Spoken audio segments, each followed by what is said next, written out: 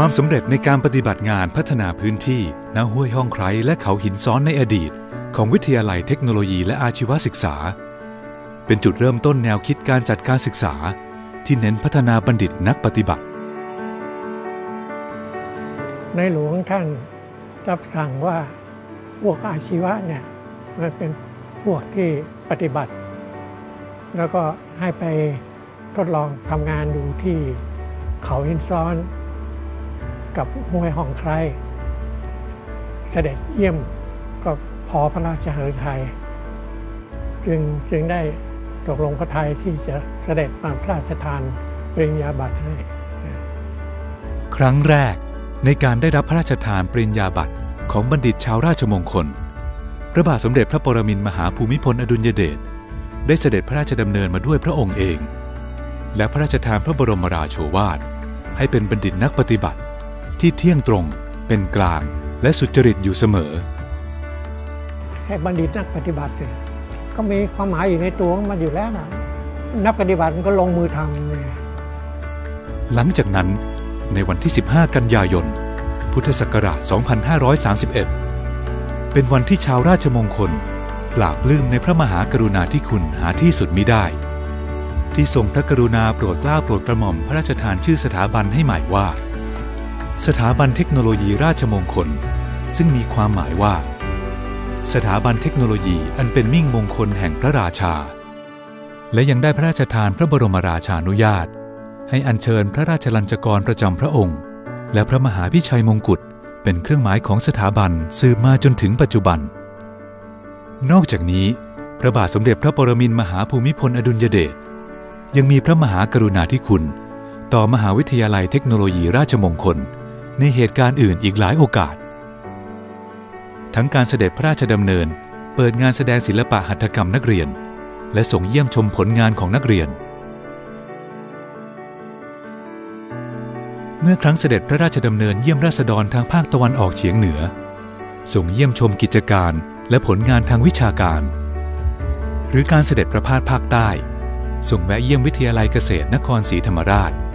และยังพระราชทานพระบรมราโชวาท แก่คณาจารย์ นักศึกษาอีกด้วย ในการเสด็จพระราชดำเนินไปทรงเป็นประธานในพิธีเปิด พระอนุสาวรีย์พลเรือเอกพระเจ้าบรมวงศ์เธอ พระองค์เจ้าอาภากรเกียรติวงศ์กรมหลวงชุมพรเขตอุดมศักดิ์พระองค์เสด็จพระราชดำเนินมาด้วยความเต็มพระราชาฤทัยและได้มีพระราชกระแสให้อนุรักษ์เรือนหมอพรไว้อีกด้วย พระองค์ทรงเป็นต้นแบบ และทรงมีพระอัจฉริยภาพหลายด้าน ซึ่งมหาวิทยาลัยเทคโนโลยีราชมงคล ได้มีโอกาสถวายงานสนองพระองค์ และดำเนินโครงการตามแนวพระราชดำริหลายครั้ง อาทิ โครงการออกแบบสร้างกล้องดูดาว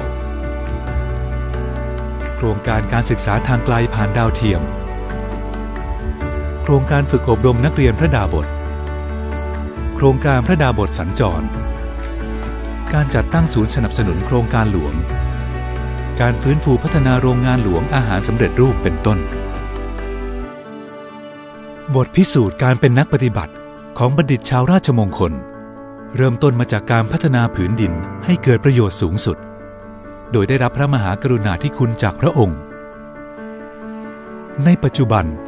ด้วยความสำนึกในพระมหากรุณาธิคุณอย่างหาที่สุดมิได้ เรายังคงมุ่งมั่นที่จะเป็นนักปฏิบัติที่มีคุณภาพ